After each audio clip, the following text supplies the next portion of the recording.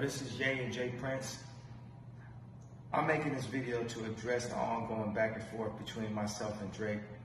Uh, both me and Drake have taken shots at each other, and it's time to put it to rest. I'm asking Drake on December 7th to join me on stage as a special guest to share the two biggest albums of the year live in Los Angeles with the ultimate purpose being to free Larry Hoover.